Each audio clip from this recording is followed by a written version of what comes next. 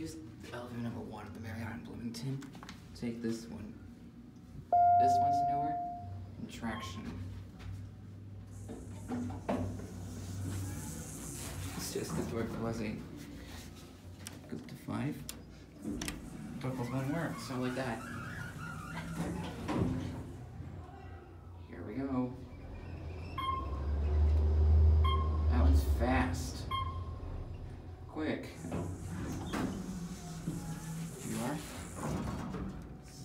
basically MRL. Fix it.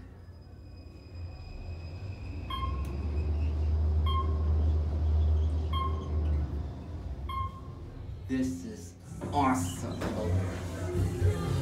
Oh, oh sorry. Sorry.